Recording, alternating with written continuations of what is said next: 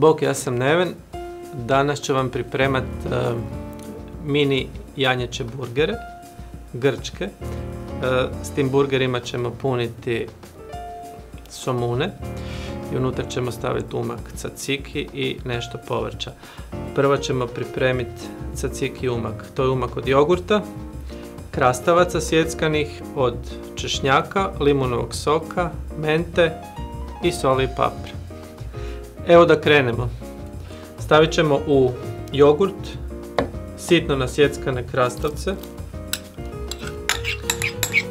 Ovisi koliko želite, ja sam stavio jedan krastavac, zatim dva režnja češnjaka,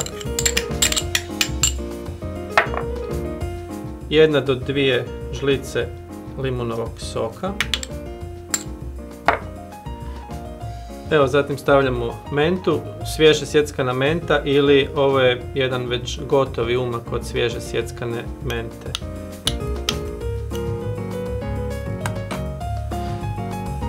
Malo soli i papra.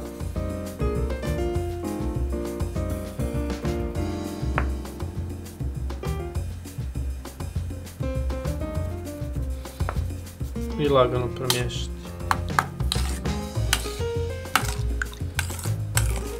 Ovim caciki umakom ćemo puniti lepinje sa janjačim burgerima. Evo, umak je gotov. On ovako treba izgledati. Idemo dalje s burgerima. Evo, nastavljamo sa janjačim burgerima. Ovdje je lijepo izmljeveno janjače meso. Uzeo sam od buta valjda zato što je najlakše i napraviti mljeveno meso od buta. E, peršin, pola glavice luka i sad su ovdje začini. Imamo origano,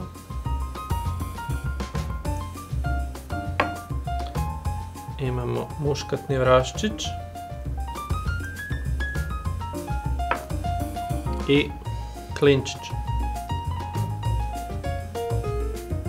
Ovo su zapravo grčki burgeri, pošto su od, koristi se janjetina i ima dosta mediteranskih začina unutra, znači origano, klinčić i muškatni oraščić.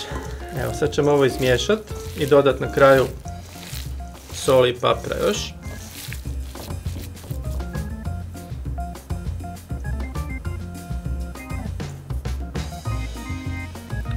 Možemo dosta zasoliti.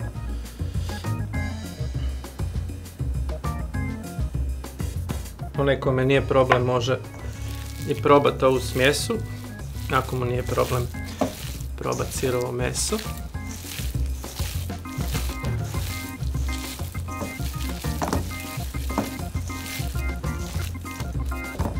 Evo, to bi bilo to. Sad ćemo napraviti male burgere i njih ćemo peći na maslinovom ulju.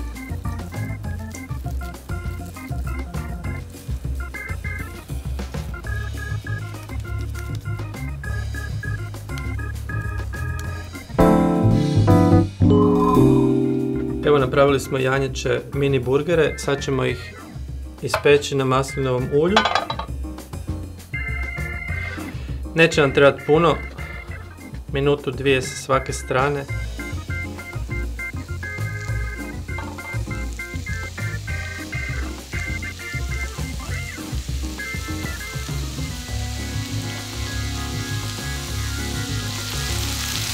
Evo sad ćemo ih okrenuti njima stvarno ne treba puno jer mljevena janjetina praktički se može jesti i lagano pečena. Kod ovih burgera je interesantno to što se koristi se dosta začina i interesantan je ovaj klinčić i muškatni oraščić koji se stavlja unutra i unutra nema puno luka. Obično mi kad radimo pljeskavice e, stavljamo unutra puno luka, znači ono klasika luk, e, papar, papar, sol, ali ovdje nema puno luka i onda kad se stave ovi drugi začini i bez luka, onda meso e, jako dobro dolazi do izražaja. Pa kad radite pljeskavice, probajte ono malo smanjiti luk i recimo tu nema češnjaka unutra. Tako da više meso dođe do izražaja.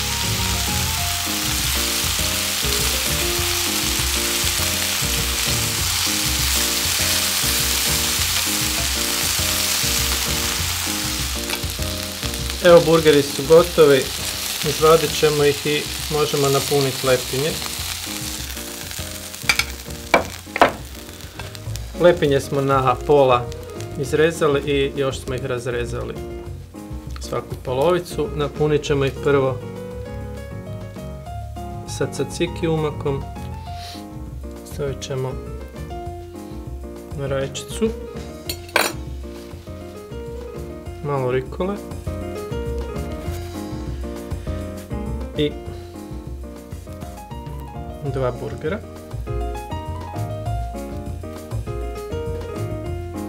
Završimo još malo cacikija i to je to.